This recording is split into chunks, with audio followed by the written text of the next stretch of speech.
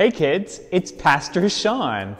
Last Wednesday, Christians all over the world observed Ash Wednesday. And that kicks off the season of Lent. No, not Lent, Lent. Now, if you've spent any time around church, you might have heard of this season. Yeah, isn't that that time when we can't have chocolate or candy or fun? well, no. Lent is actually much deeper than that.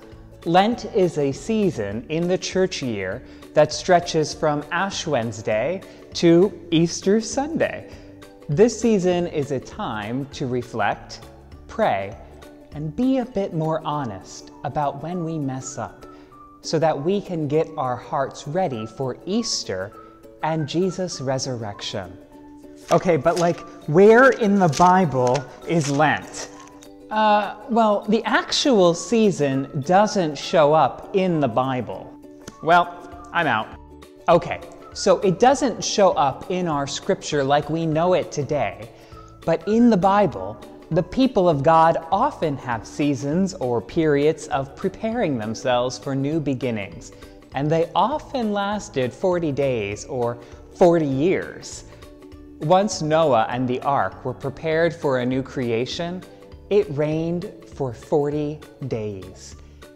When the Israelites escaped Egypt to travel to the Holy Land, they wandered for 40 years. And when it came time for Jesus to start his work, he spent 40 days in the wilderness, preparing and fasting. Talk to the hand, because I'm in the wilderness. And it's because of those 40 days Jesus spent fasting that you see some Christians giving something up for Lent.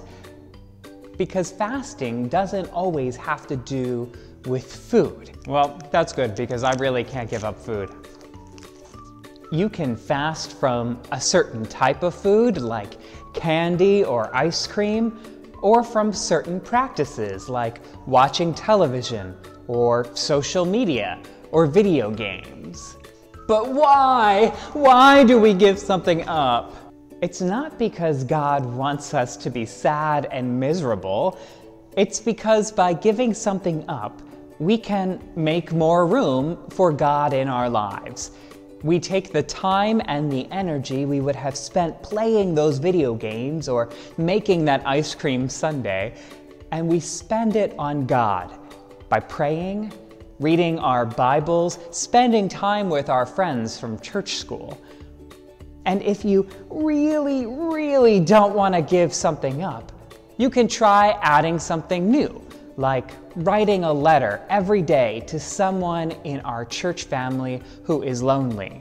Just like how those 40 days of rain prepared Noah and the creatures in the ark to restart creation, or how the 40 days in the wilderness prepared Jesus to begin his really important work, our 40 days prepare us to experience the full wonder and excitement of Easter.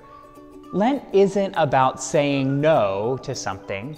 Instead, it's about saying yes to spending more time with God and with God's people. Let's pray. Repeat after me. Dear God, thank you for giving us time to slow down and spend more time with you.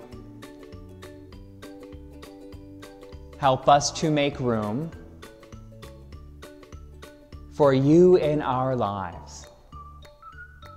And we all say, Amen.